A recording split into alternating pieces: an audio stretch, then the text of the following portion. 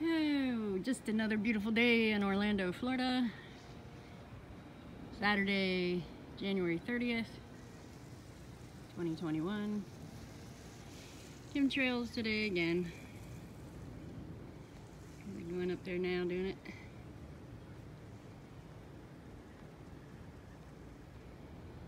So,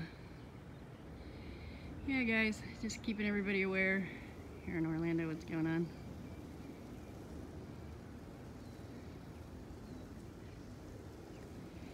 Just a big chemtrail sky. Really hazy, misty. Looking like crap. Anyway, hope everybody's good out there. I don't have much to say today. Never much for talking, really. but anyway, there it is. Zoom back out. Give you guys an idea of the geoengineered weather that we have on a daily basis now.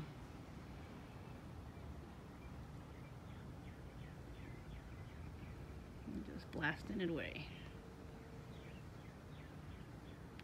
Anyway, have a great day, guys.